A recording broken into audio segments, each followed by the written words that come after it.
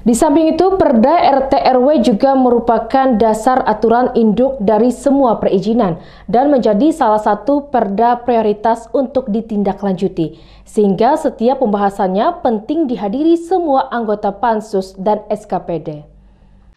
Sementara itu, Kepala Subbagian Perundang-undangan Sekdako Banjarmasin, Jeffrey Pransa, usai rapat bersama anggota Pansus di gedung DPRD membenarkan Rapat pembahasan kali ini fokus pada perampingan pasal.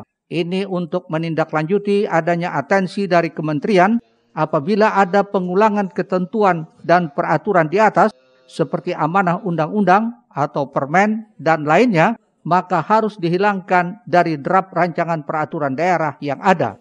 Ditambahkan Jeffrey, beberapa ketentuan dihilangkan namun diatur lebih lanjut dalam rencana detail tata ruang wilayah.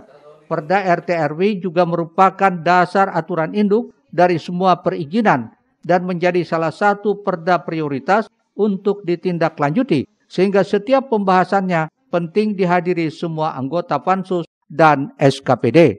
Karena kan RT RW ini kan eh, apa dasarnya aturan-aturan aturan induk dari semua perizinan jadi kan RT RW kemudian RTR jadi kesesuaian ruang ini kan syarat utama dari terbitnya perizinan.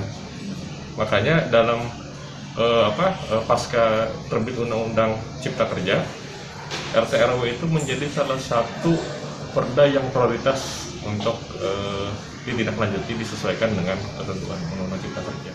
Risna Banjar TV